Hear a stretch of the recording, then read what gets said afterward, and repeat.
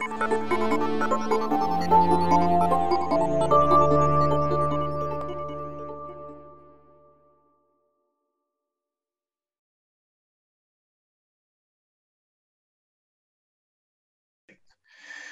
ante todo, buenas noches. Le damos la bienvenida a este segundo encuentro del curso del Top 10 en Trastornos del Humor, organizado por el capítulo de Trastornos Bipolares y otros Trastornos del Humor de la Asociación Argentina de Psiquiatras, que cuenta con el auspicio de GSK.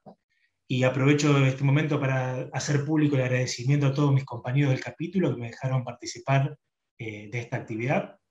Sin más, vamos a, a empezar con el artículo del día de la fecha. Como el doctor Corrales hizo oportunamente, voy a iniciar con la ficha técnica del artículo, que al castellano sería algo así como concepto y manejo de los episodios agudos del trastorno bipolar resistente al tratamiento. Será una revisión sistemática y metaanálisis de los ensayos clínicos controlados.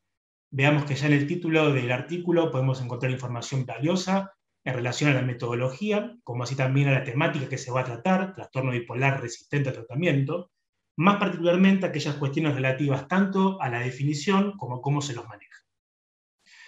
Entre los autores vemos que hay eh, grandes líderes en investigación en el campo del trastorno bipolar, en este artículo publicado en el año 2020, en el Journal of Affective Disorder, que es eh, la segunda revista en orden, si uno toma en cuenta una variable eh, muy útil en el campo de investigación como es el impact factor, entre los journals de los trastornos del humor, luego la bipolar disorder, el número que, observan resulta de la relación entre el número de citas y el número de publicaciones.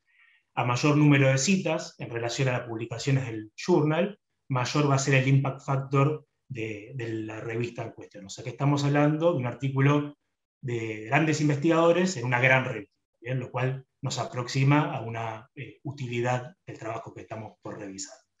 Pero ¿por qué decidí elegir este artículo y no otro? Bueno, fundamentalmente porque toca un tema que es el trastorno bipolar resistente a tratamiento, que vamos a ver que es altamente prevalente, pero vagamente definido.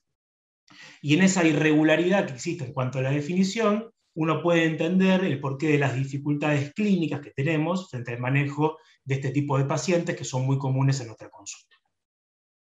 Sin intentar repasar todo el algoritmo terapéutico del trastorno bipolar, sabemos que la cantidad de fármacos disponibles para el manejo de la manía es considerablemente mayor que los disponibles para el manejo de la depresión bipolar, las dos fases que corresponden al trastorno bipolar particularmente.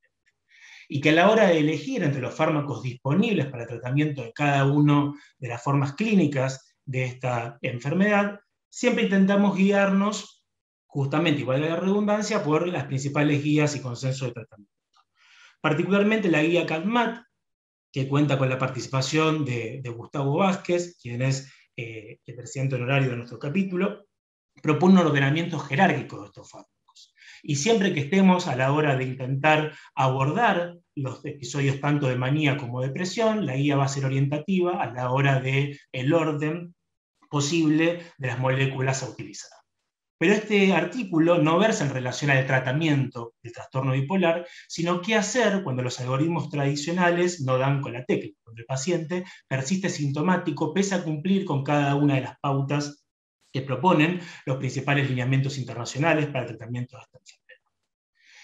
Y pensar en trastorno bipolar resistente al tratamiento es pensar en una situación, decíamos, bastante frecuente. Si uno revisa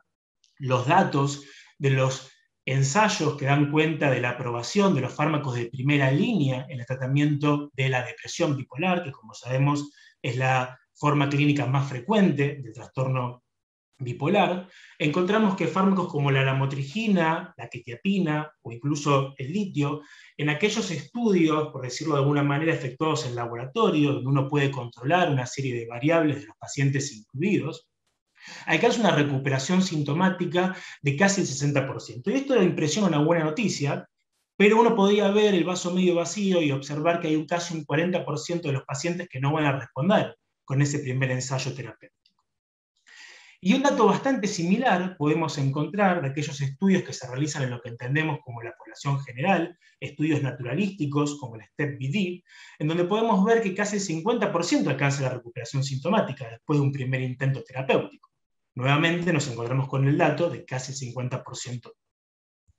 E incluso si vamos a revisiones de aquellos estudios de tipo follow-up que siguen longitudinalmente a personas que sufren de trastorno bipolar tipo 1, como este publicado ya años atrás por parte de Leonardo Tondo junto con Valesarini y Gustavo Vázquez, observamos que en el follow-up, en el seguimiento, los pacientes con trastorno bipolar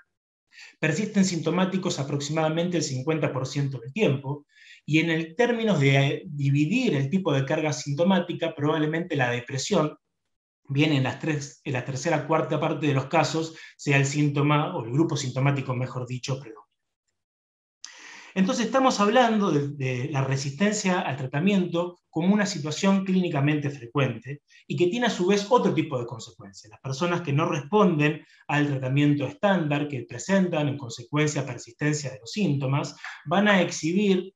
un mayor número de internaciones, un mayor número de intentos de suicidio, una menor autonomía, una mayor dificultad para incorporarse a sus habituales puestos de trabajo, es decir, una peor funcionalidad. Por todos estos motivos resulta importante revisar el concepto clínico de trastorno bipolar resistente al tratamiento y cuáles son las estrategias con las cuales disponemos para abordar esta situación clínica que, como vimos, es altamente prevalente.